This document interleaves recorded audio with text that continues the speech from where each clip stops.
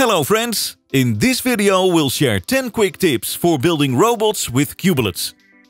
Number 1. You can build robots with cubelets by combining the three types of cubelets, which we will call sense, think and act cubelets. Changing which cubelets we connect and how we arrange them determines what type of robot we've built. Add more cubelets to build bigger robots with more complex behaviors. Number 2. Each type of cubelet plays a specific role within a robot. Black cubelets are called sense cubelets and they are inputs. They take in information like light, distance and temperature. The brightly colored ones are think cubelets and they act like little brains. They process information and can modify that information. Transparent cubelets are called act cubelets and they function as outputs. They do things like spin around, light up or make sounds. Number 3. Every robot you build will need this bluish-gray cubelet called the battery cubelet. It provides power for your robots and has a switch to turn your robot on or off. If you run low on power, recharge your battery with the included micro USB cable. Number 4. Cubelets connect using magnetic faces. You don't need to worry about orientation because they connect with any alignment. Most cubelets have 5 connection faces and one special face, which identifies the function of that cubelet. Others have 6 connection faces and their function is indicated by their color. Number 5. Cubelets are modular, which means that you can exchange blocks of the same type within a construction. For example, we can exchange any act cubelet for any other act cubelet or any sense cubelet for any other sense cubelet.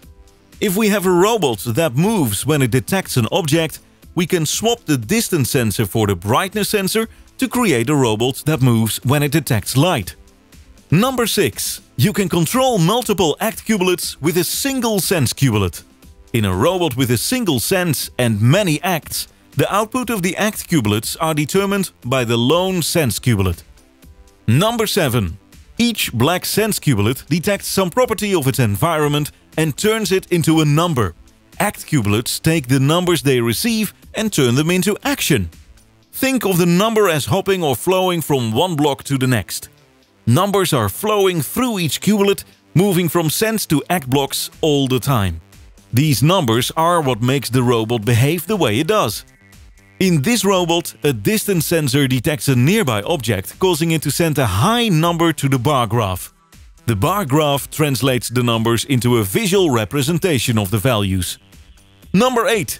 When an act cubelet receives numbers from more than one source, it combines or averages the numbers it receives to produce the action. This time we'll use the knob and distance sensor to control our bar graph cubelet. The knob cubelet allows us to set the number at a specific level. If we set it to a high number, the bar graph outputs a high value. The distance sensor outputs a low number unless it detects a nearby object. If we attach both sensors, the bar graph will average the numbers it receives from each sensor. It shows a number that is halfway between the high value from the knob and the low value from the distance sensor. Note that numbers don't flow through sense blocks. Each sense block produces its own number, so it doesn't pass numbers from its neighbors.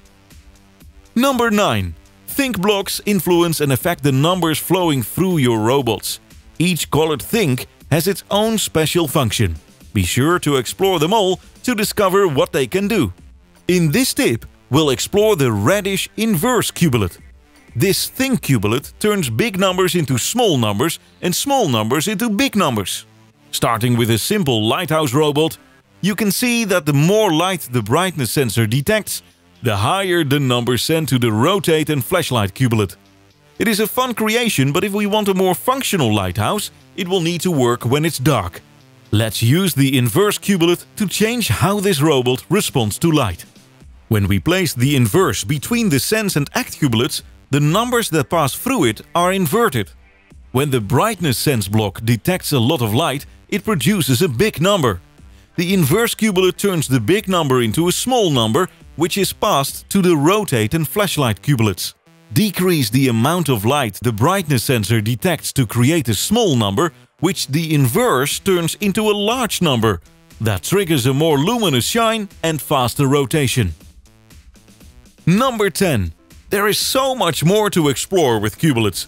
Be sure to visit our online Getting Started guide for more in-depth instructions or follow Modular Robotics on YouTube, Twitter, Instagram and Facebook to discover more of the amazing things you can do with Cubelets robot blocks.